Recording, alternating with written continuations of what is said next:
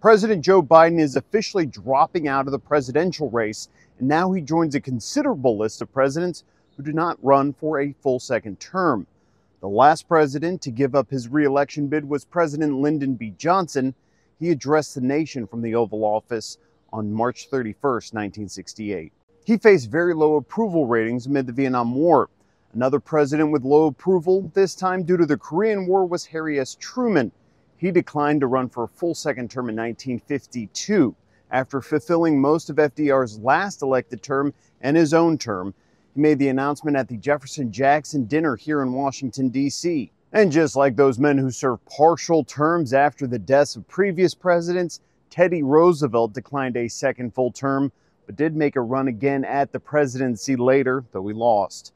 Presidents like Calvin Coolidge, Rutherford Hayes, James Polk, and James Buchanan also refused to run for a second presidential term as well.